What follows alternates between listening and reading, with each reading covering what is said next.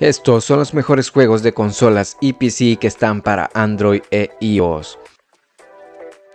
Hey, hoy te traigo una lista de juegos que vale la pena probar si tienes un celular. Son juegos para dispositivos gama baja y gama alta, así que quédate para no perderte estas recomendaciones.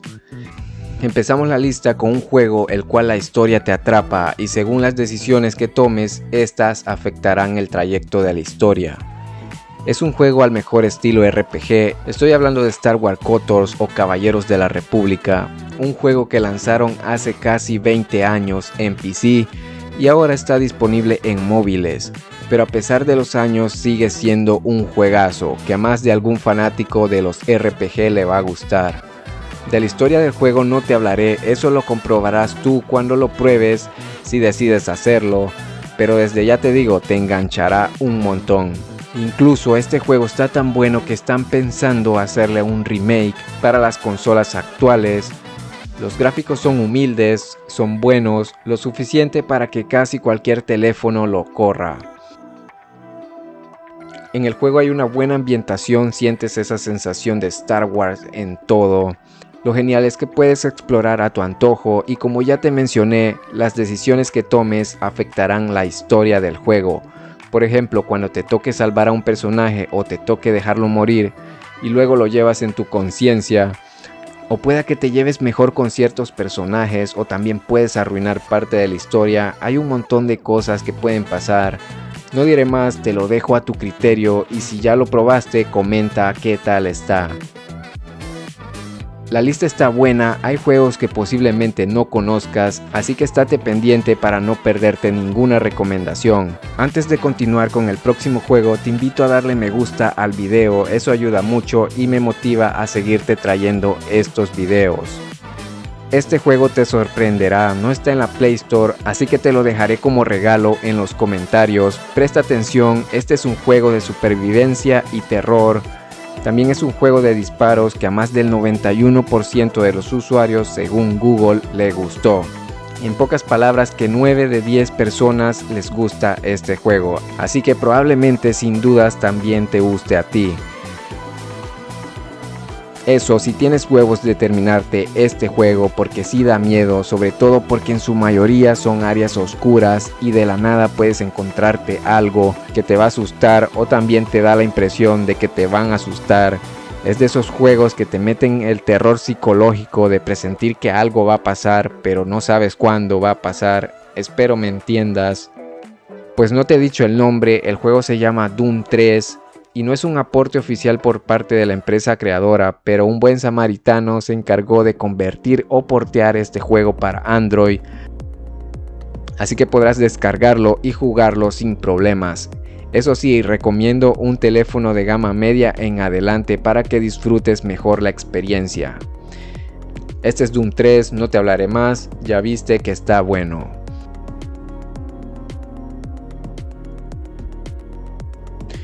Stardew Valley es un juego que mencioné anteriormente en el top juegos de paga que valen la pena jugar, parte número 3.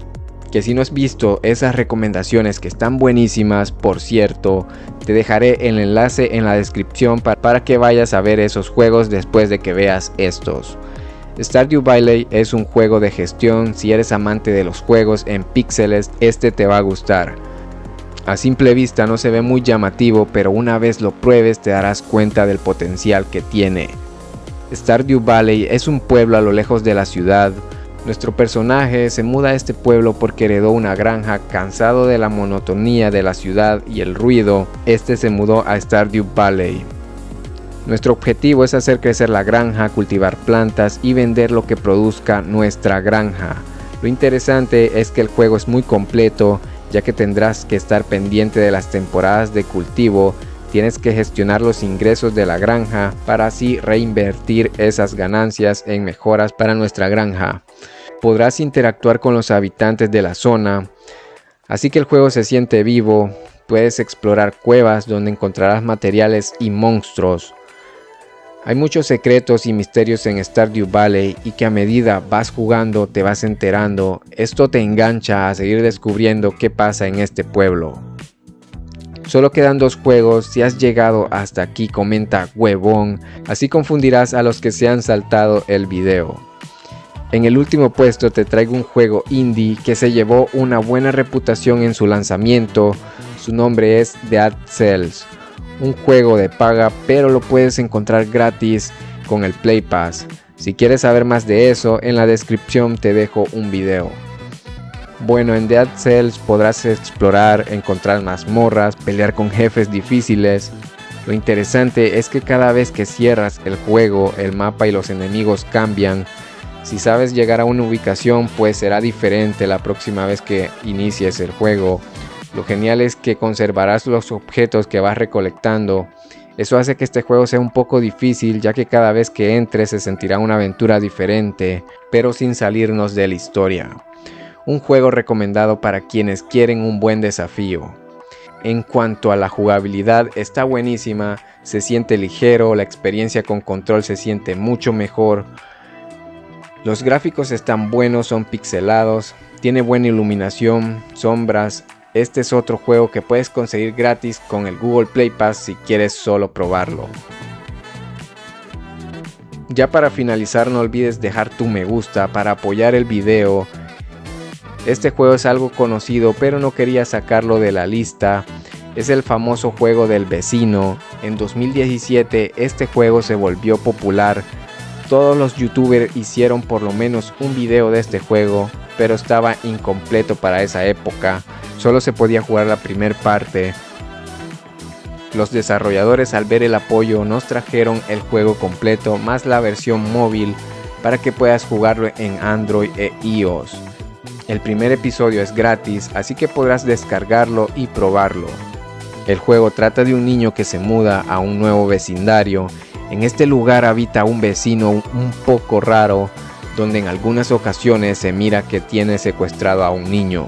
Nuestro objetivo es tratar de descubrir qué está pasando en esa casa, pero el vecino acecha el lugar y puede capturarte si te ve. Tienes que ir abriendo puertas y deduciendo cómo puedes ir avanzando. En el juego no te dan un tutorial o te explican cómo vas a hacer para seguir avanzando. Aquí tienes que ir deduciendo a medida ves objetos o herramientas que nos servirán para ir abriendo las diferentes puertas. Tienes que ser silencioso porque te puede escuchar, puedes esconderte en armarios o debajo de las camas para así evitar que te vea, pero a veces se asegura si estás ahí. El juego te da miedo, da la sensación de que el vecino está merodeando y puede mirarte. Un juegazo que está bueno y si aguantas el miedo te hará pasar un buen rato. Incluso debes probarlo si te da miedo ya que la experiencia será mucho mejor. Bueno, eso es todo, espero te hayan gustado estas recomendaciones. Y si no conocías por lo menos un juego de estos, deja tu me gusta, yo me despido y hasta la próxima.